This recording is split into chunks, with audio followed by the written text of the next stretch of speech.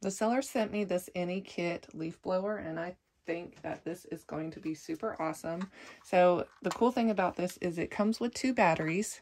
One is here and one is already in the little slot. You don't need to have the charger. This is actually the charger right here. There's a little hole right here that the charger plugs into. And then you can just take that and plug that into the wall. So awesome about that. It also comes with the leaf blower kit, some safety warning. And take this out, just push on the green button, and you slide the battery out. Super easy to do. And you'll take that, slide it in, it clicks into place. It had two parts. It had this leaf blower part here, and then it actually had this. And this was easy to take off and take on, put back on.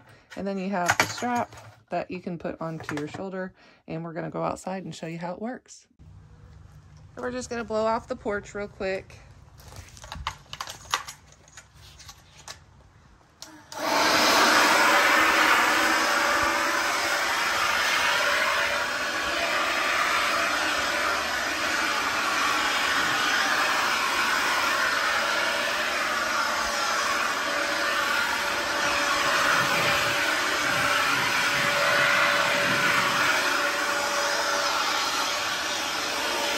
And that's how simple it is to use that leaf blower. It is really light and super easy to use.